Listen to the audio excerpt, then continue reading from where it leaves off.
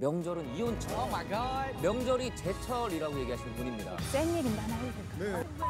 왜안 들어? Nasty. 식구들이 되게 괜찮은 거예요. 사랑과 전쟁 사라짐 이제 모든 그 예술적인 영감이 지금 이혼해서 행복하신 분들 이분한테 감사하다고 돼요. 절대 꺾이지 않는 여자 이태영입니다.